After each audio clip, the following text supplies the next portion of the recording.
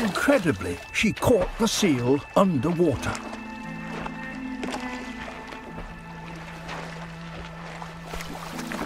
It's only small, but even so, its blubber alone will contain hundred thousand calories, enough to sustain this bear for a week.